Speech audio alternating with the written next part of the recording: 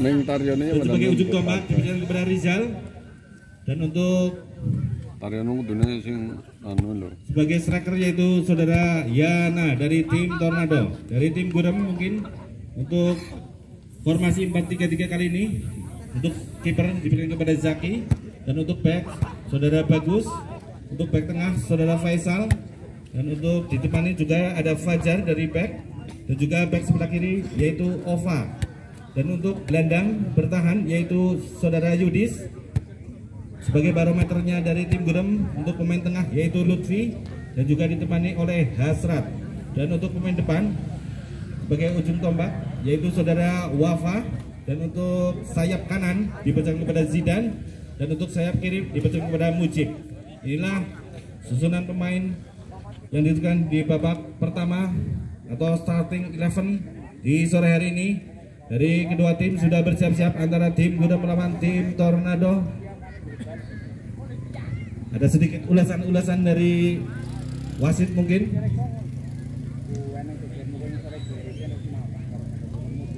Ya sekali lagi untuk para pengendara sepeda motor ya untuk parkir lebih disiplin tolong parkirnya di sebelah utara tribun sekali lagi untuk para pengendara sepeda motor untuk berparkir di tribun utara atau di belakang gawang. Oke kali ini dari kedua tim sudah memasuki lapangan. Untuk jalannya permainan di babak kick off babak pertama kali ini sudah tidak sabar lagi bagi para penontonnya. Luar biasa sekali kali ini dari tim Tornado. Berjeresi kuning dan untuk tim Gurem dari dan juga tim Gurem berjeresi merah marun. Kali ini Penontonnya luar biasa sekali, sudah tidak sabar lagi untuk menyaksikan di babak pertama. Sekali lagi untuk bagi para pengendara sepeda motor untuk berparkir di sebelah tribun utara. Sekali lagi.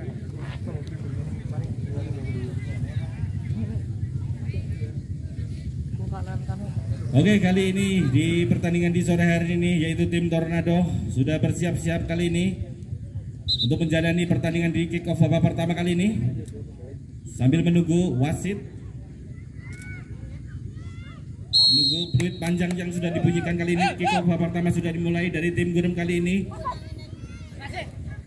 Ambil kiri tendang langsung ke depan apa yang terjadi saudara-saudara kali ini sudul pemain dari Tornado? Langsung saja nomor punggung 11 kali ini umpan pendek umpan pendek cantik umpan yang sangat manja sekali kali ini nomor 17 permainan di kasih langsung Ivan cepat. tengah kali ini. Umpan sebelah kiri kali ini otak atik bola bola keluar. Jadilah lemparan dalam yang akan dari tim Gurem kali ini. Masih ancang-ancang dari tim Gurem yaitu saudara Hasrat kali ini. Umpan sebelah kiri kali ini tendang langsung ke tengah. Terjadi perebutan disudul langsung pemain nomor 11 kali ini. Jadi saudara Dwi kali ini tendang langsung otak atik bola. Masih otak atik apa yang terjadi saudara-saudara? Kali ini nomor 26 langsung diserobot aja. Permainan yang cantik dan atraktif kali ini yang ditujukan dari pemain-pemain dari Gurem kali ini. Masih Wafa otak atik up.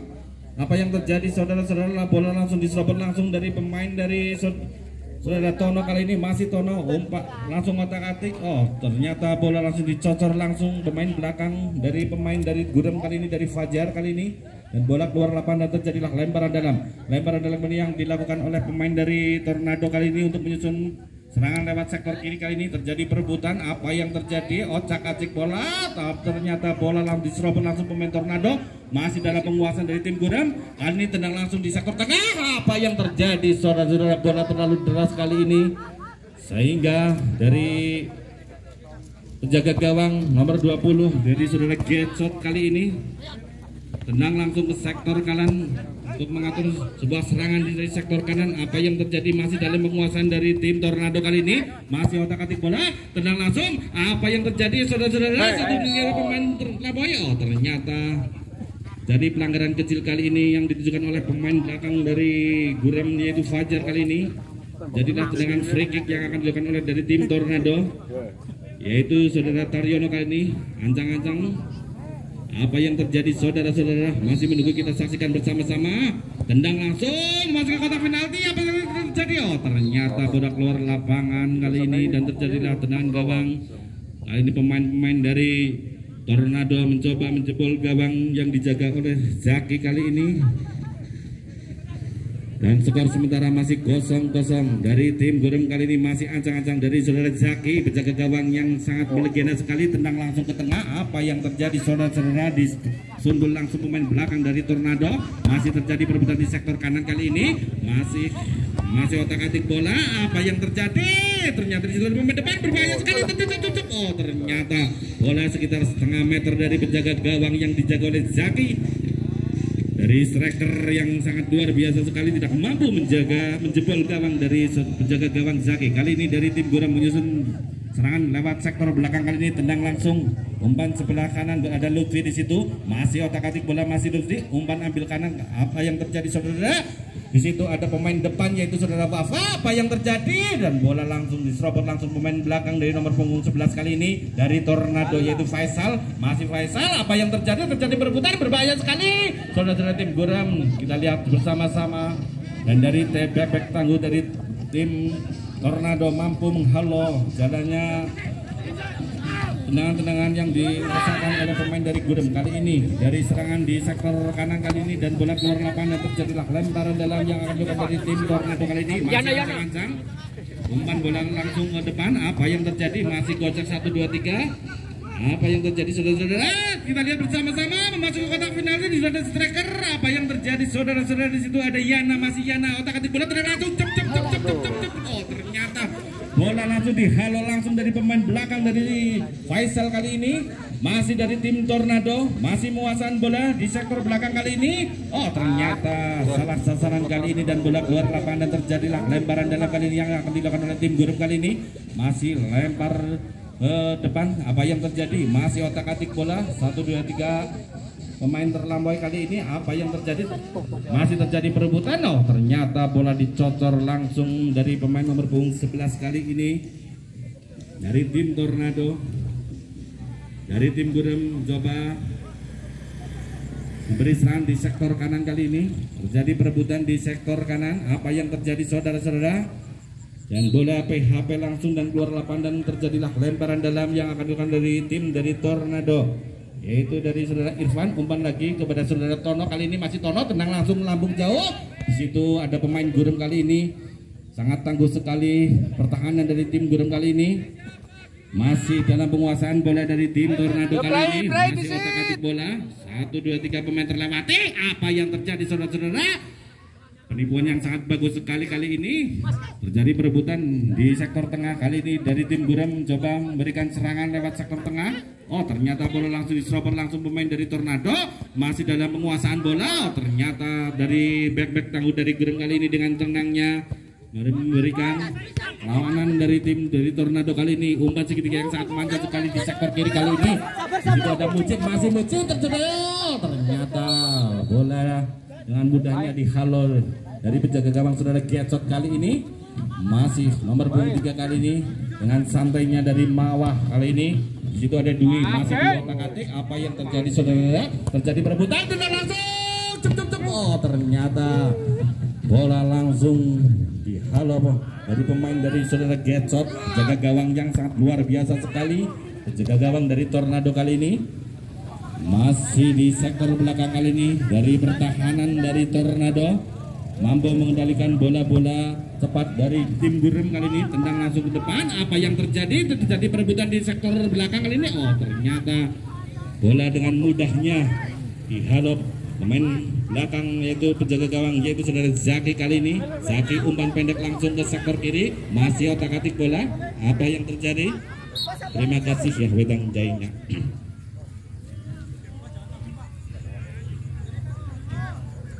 Kita lihat saksikan bersama-sama di pertandingan sore hari ini. Luar biasa sekali penontonnya kali ini.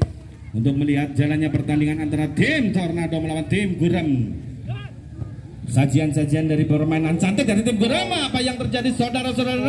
Masih mengejar bola di sektor tengah kali ini apa yang terjadi di sektor kanan? Otak adik dan serobot langsung pemain dari tim Guram kali ini.